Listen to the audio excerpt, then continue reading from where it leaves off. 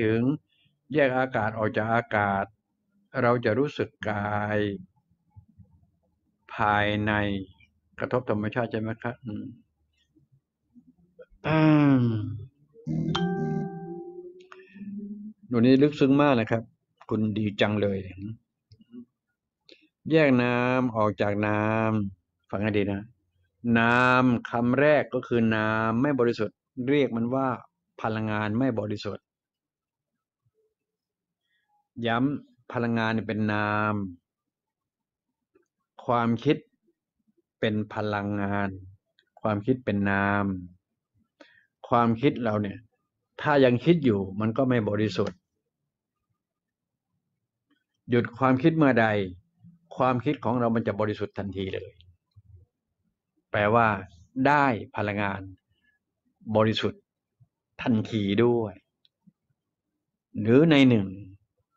พลังงานบริสุทธิ์มันซ่อนซ้อนอยู่ในพลังงานที่ไม่บริสุทธิ์ ซ่อนซ้อนซ่อนซ้อน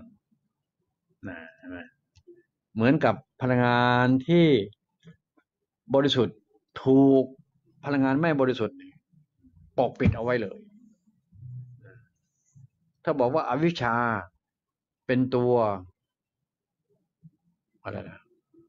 เป็นตัวดำเป็นตัวมืดเป็นตัวครอบงำอวิชชาตัวนี้คือพลังงานที่ไม่บริสุทธิ์ กิเลสตัณหาราคะใด ๆ เป็นน้องอวิชชา หรือว่าเป็นลูกหลานอวิชชา เพราะฉะนั้นกิเลสตัณหาราคะ ทั้งหมดเป็นพลังงานไม่บริสุทธิ์นมาไปนู่นเลย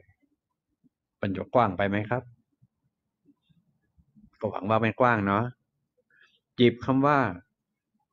นามแยกนามออกจากนาม นามเนี่ยคือพลังงาน ความคิดเป็นพลังงาน จิตก็เป็นพลังงานนะส่วนกายของเราเนี่ย มีทั้งพลังงาน มีทั้งกำลังงานกายเราเนี่ย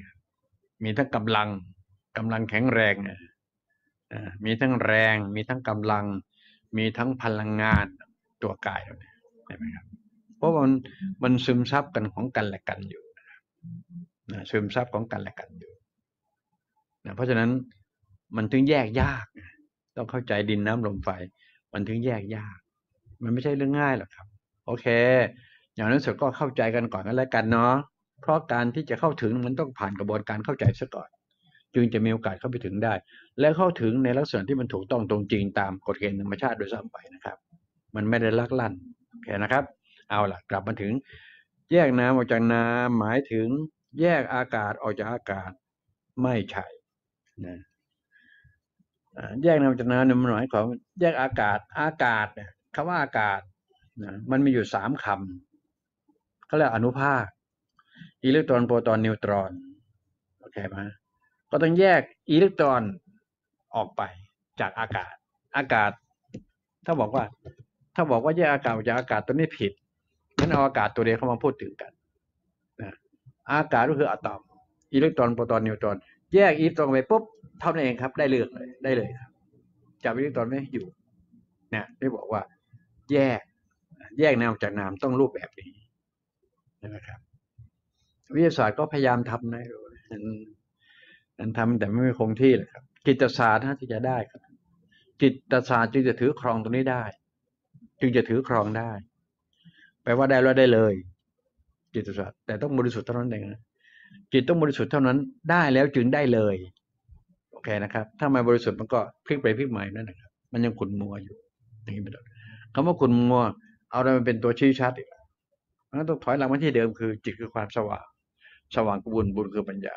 ย้ำจิตคือความสว่าง เลยความสว่างเป็นความใสตัวใสนั่นนะครับ คือจิตบริสุทธิ์นะมาไปนู่นเลย ทันผมไหมครับ ทันลุงไหมฮะถ้าทันนะ แปลว่าฟังแล้วทันและเข้าใจ ก็แปลว่าฟังทัน ฟังแล้วทำความเข้าใจตาม แปลว่าฟังทัน ถ้าฟังทันก็จะเข้าใจ ถ้าฟังไม่ทันก็ไม่เข้าใจ ถ้าไม่ได้ฟังแล้วจบข่าวเลย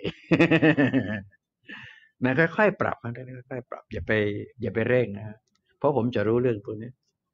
มันปรับปรับไม่ได้แล้วโอ้ยกว่าลุงจะมาพูดได้ โดยที่ไม่ต้องใช้อะไรล่ะ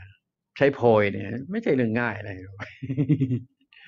ใช่ไหมฮะกว่าจะมาเล่าเรื่องนี้ไม่ต้องใช้โพยสักอาทิตย์เดียวเลยไม่ใช่เรื่องง่ายนะสังเกตเวลาถามเนี่ย มันจะตอบมาอยู่ในในในลายเดียวกัน ผมจะไม่แตก สังเกตให้ดีนะพยายามจับ ถ้าถ้าจะจับผิดลุงนะให้จับผิด เนี่ย แต่ละความแต่ละคำแต่ละวันเวลาผมตอบใครต่อใครเนี่ยครับคำถามใกล้เคียงกันเหมือนกันนะว่ามันจะอยู่ในร่องเดียวกันไหมหรือว่าคนละขั้วโลก ในเวลาจับผิดลุงจับอย่างนี้ บอกวิธีจับผิดแต่ไปเปรียบเทียบกับตำรกตำราอย่าไปเปรียบเทียบนะครับ คนละเรื่องเลยคนละโลกเลยให้รู้ไว้เออเพราะนั้นคนเก่งตำราเก่งต่างๆจะกับลุงนี่ไม่ได้มนคนละศาสตร์กันนะครับ ไม่รู้ไว้ลุงพูดถึงธรรมศาสตร์คือศาสตร์ธรรมชาติกับจิตศาสตร์นะ อ่า นี่คือพระพระเอกของเรื่อง ส่วนวิทยาศาสตร์ลุงก็อ้างถึงไปอย่างนั้นแหละ เห็นไหมเพราะว่ามนุษย์โลกนี่เขาเรียนวิทยาศาสตร์กันใช่ไหมครับเราก็พูดให้มันลดโลกนี้ให้เขาได้รู้หน่อย ให้เขามารู้เราหน่อย ส่วนเราจะรู้เขาแง่แง่ๆเพราะเขาคือมนุษย์ โอเคไหมครับ เขาคือมนุษย์ โอเคไหมแต่เขาย่องยงตัวเองว่าเขาคือนักวิทยาศาสตร์โอ้ก็ศาสตร์ก็ศาสตร์ก็แค่นั้นเองเป็นอะไรไปล้วก็คือมนุษย์อยู่วันจะค่ำแหละโอ้โอเคไหม เพราะเราเข้าใจมนุษย์มันก็ไปได้หมดทุกเรื่อง ชันไหมครับ ไม่ว่ามนุษย์ผู้นั้นจะเป็นหญิงหรือเป็นชาย ต่างวัยหรือต่างขนาด เราก็ต้องเข้าใจตามบทบาทพวกนี้เอาไว้เสมอๆ โอเคไหม โอเคก็ตะเลนตะเลนแล้วเนี่ย โอ้โห วันนี้ฉายเดี่ยวหนักเลยแล้ววันเนี้ย โอเคก็ดีครับ ดีนะยังตุน